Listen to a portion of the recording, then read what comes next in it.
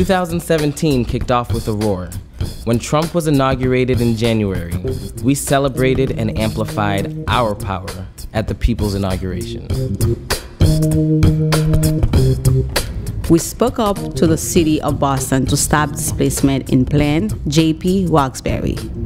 We celebrated and supported the many families and businesses facing displacement by City Realty.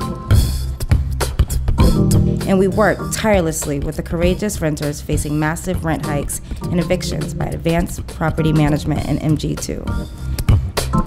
As we say at City Life, Vida Urbana, when we fight, we win. In October, we won the passage of Jim Brooks' Community Stabilization Act by Boston City Council. We won displacement prevention measures in Plan JP Roxbury.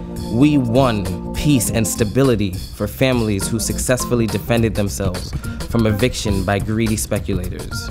You, together with us, are stopping displacement in Boston. Because housing is a human right. Because community is love and power. Because ending displacement is a matter of racial justice. Because our city belongs to all of us.